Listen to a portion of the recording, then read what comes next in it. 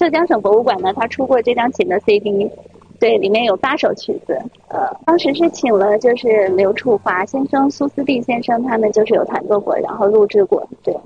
嗯，对，这个琴里面呢，它是有这个副款，就是因为它的琴就是分为面板和底板，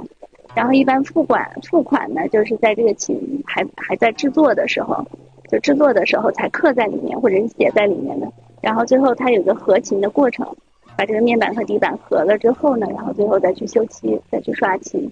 所以付款呢，一般就是作为这个琴的制作的一个年代，就是有这样子的一个表征。那这张琴也是开复重修的时候，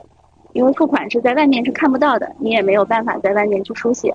啊，只有制作的时候才可以，就是制作的时候写上去。那开复重修的时候呢，它上面是里面是有这个正楷，大唐开元二年雷威制。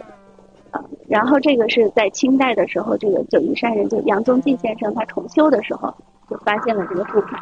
所以他就在这个后面就是写了很多的这个铭文，还有这个诗去赞美。